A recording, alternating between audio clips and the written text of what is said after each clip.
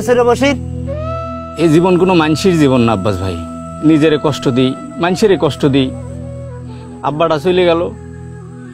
মুখটা দেখতে পারলাম না। এখন আম্মা অসুস্থ তারেও দেখতে যাতে পারতেছি না। সারাক্ষণ শুধু ভয় বাঘের ভয় কুমিরের ভয় র্যাবের ভয়। এভাবে থাকতে থাকতে নিজের আর মানুষ মনে হয় না ভাই। জন্তু মনে হয়।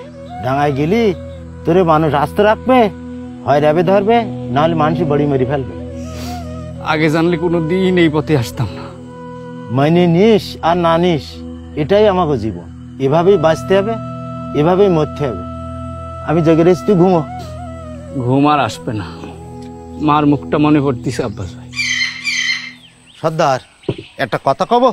বলে ফেল। স্যালেন্ডারের কথা তো শুনেছেন একটু ভেবে দেখবেন নাকি? তুইও কি পাগল হয়ে গেলি? এই ভয়ানক জঙ্গলে র্যাবের হাত থেকে বাঁচতে পারতিস না আর সালেন্ডার করলে ওরা আমাকে ছেড়ে দেবে? তুই রে এমন মামলা দেবে সারা জীবন জেলের ভাত খাতি হবে। বাচ্চা হয়েছে এখন মুখটাও দেখতে পারিনি। কিন্তু এইভাবে আর কতদিন সর্দার? এই জীবন তো আর ভালো লাগে না। আমার কি ভালো লাগে? কিন্তু যেইসে মরার ইচ্ছে আমার নেই। যা বাগেনতে বিশ্বের সর্ববৃহৎ ম্যানগ্রোভ বনভূমি সুন্দরবন। মৎস্য ও বন সম্পদের প্রাচুর্যে ভরপুর এই বনভূমিতে জলদস্যুতার ইতিহাস দীর্ঘদিনের। প্রাচীনকাল থেকেই মগ, হারমাদ, ফিরিঙ্গিদের হাতে জীবন দিতে হয়েছে মাছ ও লবণ ব্যবসায়ীদের। যশোরের রাজা প্রতাপাদিত্য তার নৌবাহিনীর প্রধান ওলন্দাজ সেনাপতি অগাস্টাস পেড্রোকে নিয়ে লড়েছিলেন এই সব জলদস্যুদের বিরুদ্ধে। কালের চক্রে এই জলদস্যুতার ভয়াবহতা আরও বেড়ে যায়। আশির দশকে জলদস্যুদের হাতে অস্ত্রের যোগান সহজলভ্য হওয়ায় ভয়ঙ্কর রূপ ধারণ করে দস্যুতা। সুন্দরবনের প্রান্তিক জনগোষ্ঠীর জীবন রক্ষা, মৎস্য ও বন সম্পদের সংরক্ষণ, সর্বোপরি সুন্দরবনকে বাঁচাতে মাননীয় প্রধানমন্ত্রীর নির্দেশে দু হাজার বারো সালে র্যাব ফোর্সেসকে লিড এজেন্সি করে তৈরি হয় টাস্ক ফোর্স। একের পর এক র্যাবের দুঃসাহসিক অভিযানে কোণঠাসা হয়ে পড়ে জলদস্যুরা।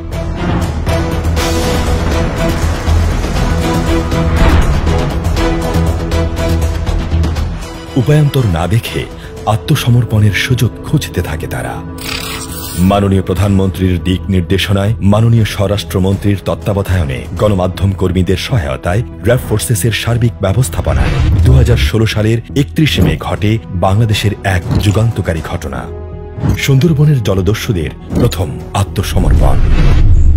টাইগার যে তাড়াতাড়ি নাও ছাড়ার ব্যবস্থা করো। যে বাঘ মামা দেখা গেছে, এই খাল ছাড়তে হবে এক্ষুনি। দ্রুত ব্যবস্থা করো। এই তাড়াতাড়ি গ্রাফি তোলো। কেবল সূর্য উঠেছে, তোরা ঘুমাচ্ছিলি। বন শান্ত ছিল, ভাবলাম ভোরবেলা পেটটা একটু খালি করে আসি। আমি কি জানতাম, বড় মামা আশেপাশে আছে, কেবল বইছি। এ এমন হুঙ্কার চাললো পরিমরি দৌড় দিয়ে তখন বাঁচিছি। তখন কেউ তো শোলের দিকে তাকানোর সময় ছিল রে। এ বড় একটা শোল পায়ে ঢুকে গেল। উহ, ব্যথায় চোখ মুখ একেবারে বন্ধ হয়ে আসতেছে রে। পাটা কেটে না ফেলতে হয়। নদীতে গেলে র্যাবের টহল আর এদিকে বাঘ। বনে আর থাকা যাবি না রে। মাস্টার বাহিনী স্যালেন্ডার করেছে।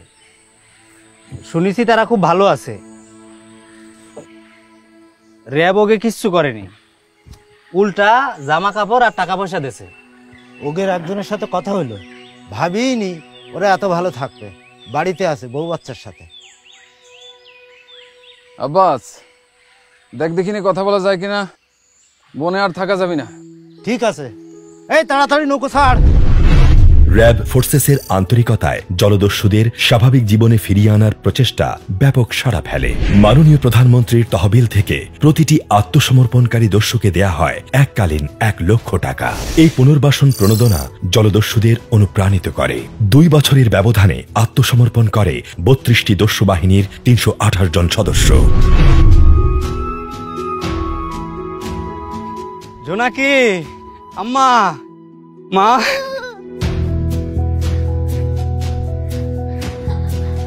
বাপ। কিরম আছে তুমি? আছে।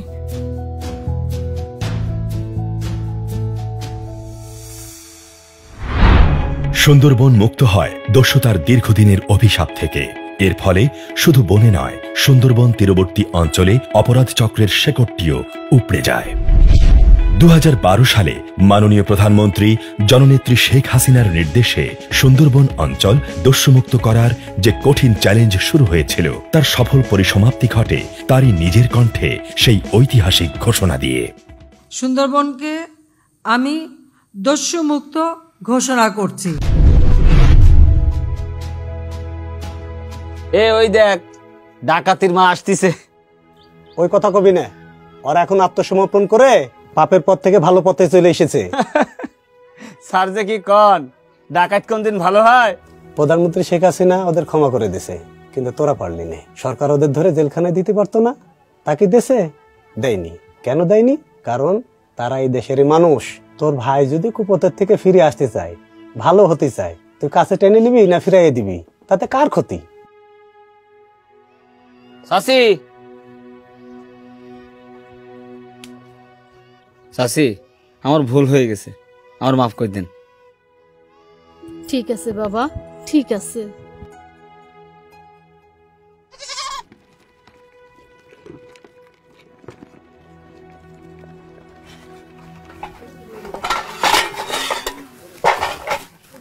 মন খারাপ করতে চাও কেন? সাহায্যের সব টাকা তোমার চিকিৎসায় চলে গেল। এখন খাব কি? সরকার তো আজীবন আমাকে সাহায্য করবে না। ডাকাত ছিলাম বলে কেউ কাজ দেয় না। কেউ বিশ্বাসও করে না। এরম চললে পারে তো ওই কথা মুখেও আনবা না। না খেয়ে মরে যাব। তাও আর ডাকাইতের বউ ডাকাইতের বউ শুনতে পারব না। মাইন্সের কথা একবার আত্মহত্যা করতে গেছিলাম। জানো? জুনা কি কয়? মা, আব্বা কই? আব্বা কবে আসবে? এতদিন খালি মিথ্যা কথা কয়ে থামিয়ে রাখিছি। গ্রামের মাইনছে কি মিথ্যে কথা কবে? মেয়েটা আমার একদিন কাঁদতে কাঁদতে ঘরে এলো। স্কুলে নাকি তারে মাইরেছে। ডাকাতের মেয়ে বলে। কান্না ছুটে মেয়েটা আমার জ্বর বাঁধে ফেলাইছে। না কে মরে যাব, তাও আর তুমি ওইসব করতে পারবে না। বৌমা, আয়শা?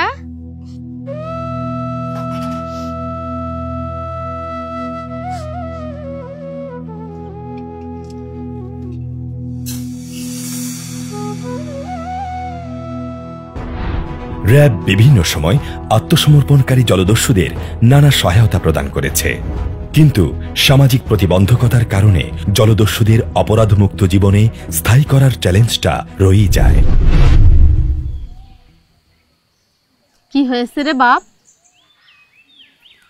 আড়তের কাজটাও গেল। ডাকাত ছিলাম বলে কাস্টমাররা কি যেন বলেছে মহাজন তাইড়ে দিয়েছে ভালো হবার চেষ্টা করলাম। কিন্তু মানুষ মনে হয় তার হতে দেবে না। কি যে করব?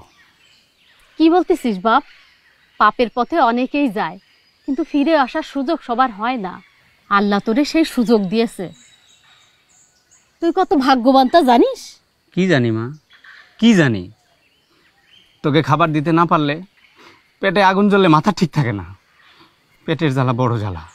ভাবিস নে বাপ ভালোর পথে চললে পথ একটা না একটা বের হয়েই যায়। মাননীয় প্রধানমন্ত্রীর এই অর্জনকে সমুন্নত রাখার প্রতিবন্ধকতাগুলো চিহ্নিত করে তা দূরীকরণের সিদ্ধান্ত নেয় র্যাব।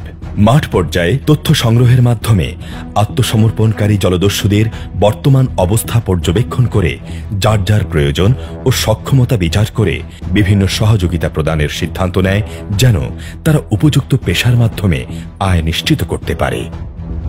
পুনর্বাসন প্রকল্প সফল করার জন্য র্যাব সদর দপ্তর বিভিন্ন স্থান রেখে করে পুনর্বাসন কাজের প্রক্রিয়া সরাসরি তত্ত্বাবধান করে। র্যাব ছয় ও আট মাঠ পর্যায়ে তা বাস্তবায়ন করে। এই প্রকল্পের আওতায় বাগেরহাট, খুলনা, সাতক্ষীরা, যশোর, পিরোজপুর সহ বিভিন্ন এলাকায় মোট একশো দুইটি দোচালা টিনের ঘর, নব্বইটি মুদি দোকান, দুশো আঠাশটি গবাদি পশু, বারোটি নৌকা ও জাল, আটটি ইঞ্জিন সহ নৌকা প্রদানের উদ্যোগ নিয়েছে। আমার যদি একটা ইঞ্জিন চালিত নৌকা আমি নেই তাহলে ইনকাম করে আমার জীবিকা আমি নির্বাহ করতে পারব। আমাদের ঘরটা ভাঙা। বৃষ্টি নামলে পানি পড়ে। বর্ষায় খুব কষ্টকর হয়। ঘরটা পেলে ভালো হয়। আমার এই ঘরটা আমি বানতে পারতাম না। যাতে সরকার আমার ঘরটা দিচ্ছে বলে আমি এতে বিরাট খুশি। আসসালামু আলাইকুম স্যার। ওয়ালাইকুম আসসালাম। স্যার দোকানটা কবে দিবেন?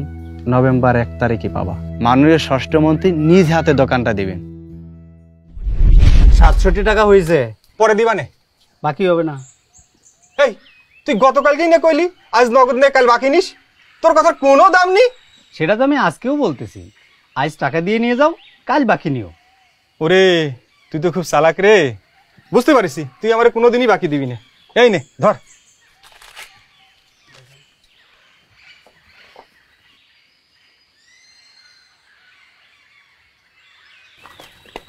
আব্বাস ভাই কেমন আছো? সেই কবে দোকান দিছি? একদিন পরে আসলা? কিছু লাগবে? না রে অভাব ছিল। এখন আর নেই। র্যাবেরতে জাল আর নৌকো দেছে মাছ ধরে ভালোই চলছে।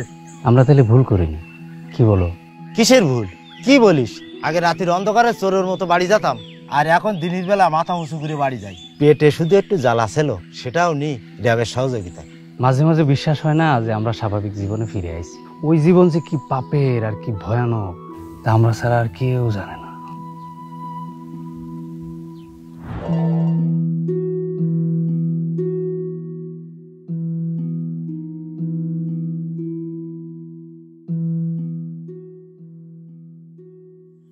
হলো মা ঠিকই বলিছিল ভালো পথে চললি পথে একটা না একটা বেরিয়েই যায়। ঘুমাও।